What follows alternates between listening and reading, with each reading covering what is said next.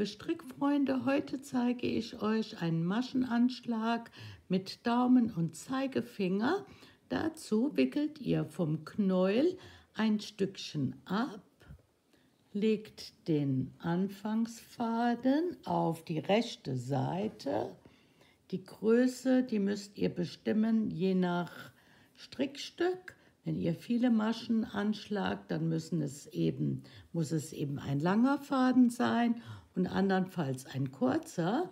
So, jetzt wickelt ihr den Faden einmal um den Zeigefinger und dann über Kreuz um den Daumen und beide Fäden haltet ihr jetzt hier mit dem kleinen und Ringfinger fest. Jetzt geht ihr mit der Nadel hier in die Daumenschlaufe, da wo es über Kreuz ist, von unten rein, geht über die Schlaufe und holt jetzt vom Zeigefinger den Faden durch die Schlaufe. So, jetzt geht's weiter. Also hier vom langen Ende der Teil, der kommt über den Zeigefinger, vom kurzen Ende, das kommt über den Daumen, die Schlaufe legt ihr auf die Stricknadel, und jetzt macht ihr ein Kreuz und nehmt hier vom Zeigefinger ein Stück von dem Faden und zieht das jetzt auf die Nadel. Noch einmal runterziehen, ein Kreuz bilden, den Faden holen und wieder auf die Nadel ziehen. Nochmal über Kreuz den Faden vom Zeigefinger nehmen und nach unten ziehen. So, über Kreuz.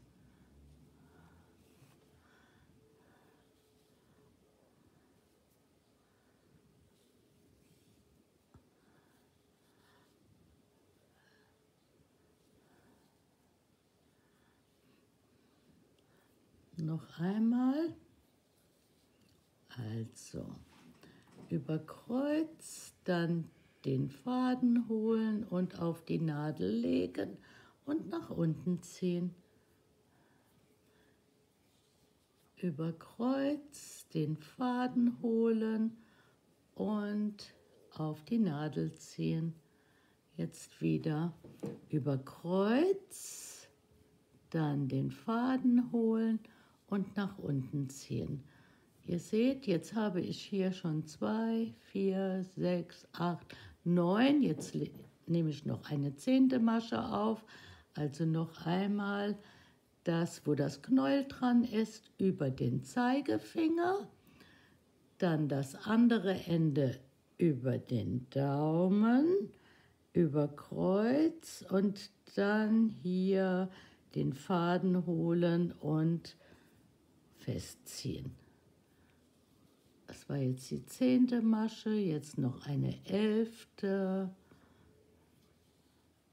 eine zwölfte. So, das war jetzt eine Methode des Maschenaufschlags. Eine andere Art des Maschenaufschlags ist das Aufstricken der, der, der Maschen. Und zwar bildet ihr zunächst eine Schlaufe Diese Schlaufe setzt ihr auf den linken Teil der Stricknadeln. So, jetzt geht ihr in diese Masche rein, nehmt den Strickfaden über den Finger, macht einen Umschlag, zieht jetzt die Masche durch und setzt sie auf die Stricknadel.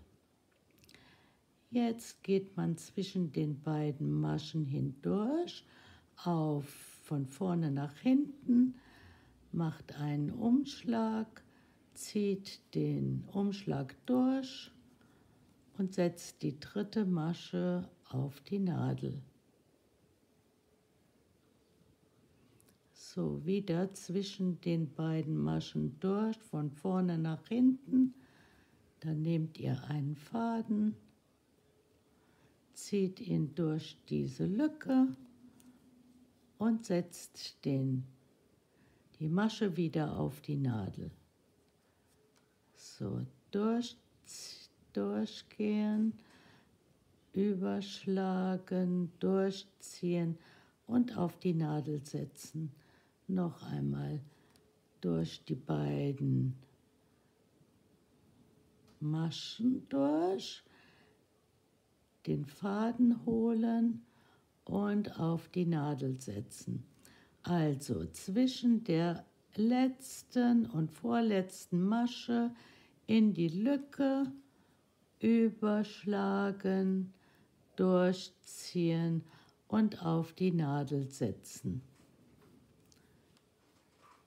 die letzte Masche und die vorletzte in diese Lücke mit, dem, mit der Nadel nach hinten einen Umschlag machen und nach vorne ziehen und wieder auf die Nadel setzen.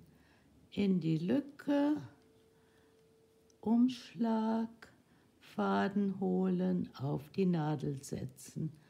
In die Lücke, umschlagen, Faden holen und auf die Nadel setzen. Zwischen den beiden Maschen durch, den Faden holen und auf die Nadel setzen. Wieder zwischen den beiden den Faden holen und auf die Nadel setzen. Wenn ihr die Maschen so aufschlagt, dann habt ihr einen schönen lockeren Anschlag, weil ihr die Fäden immer hier zwischen den Maschen rausgezogen habt. Also das war die zweite Methode. Eine weitere Methode, die Maschen aufzuschlagen, ist das ganz normale Aufstricken. Man macht erstmal eine Schlaufe, setzt die Schlaufe auf die linke Nadel und steckt in die Schlaufe ein, macht mit dem Strickfaden einen Umschlag und setzt jetzt die Schlaufe, die man da rausgezogen hat, so auf die Nadel. So, und macht wieder den Umschlag dreht die Masche ganz leicht, setzt sie auf die Nadel und strickt weiter. Also das ist das einfache Aufstricken von Maschen. Schlaufe holen, leicht verdreht auf die Nadel setzen, umschlagen, wieder die nächste Schlaufe, leicht versetzt auf die Nadel. Also für mich ist das die leichteste Übung. Also Schlaufe holen, leicht versetzt, auf die Nadel setzen und wieder weiter stricken, bis man genügend Maschen hat.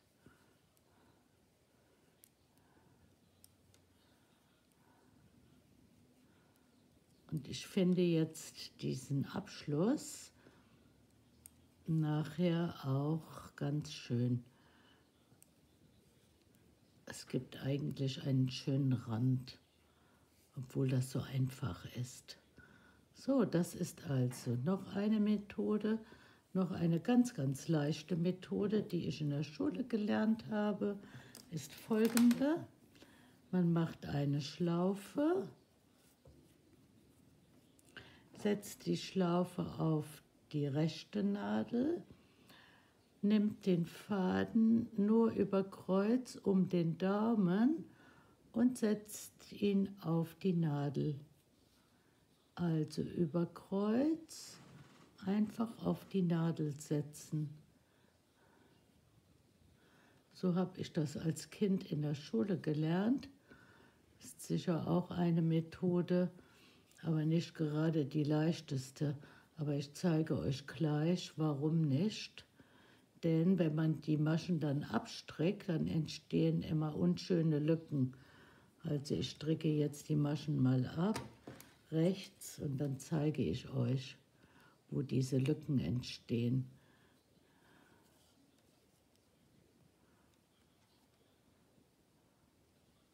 So hier, da entsteht jetzt immer so eine unschöne Lücke. Aber wenn man versucht, das auszugleichen, geht auch das. Hier, da ist die Lücke jetzt so groß. Man muss dann also hier weiter durchziehen, um das auszugleichen. Also die Methode geht auch. So, dann gibt es auch noch verschiedene andere Maschenaufschläge, aber ich finde, das führt jetzt für Anfänger zu weit. So, viel Spaß beim Stricken.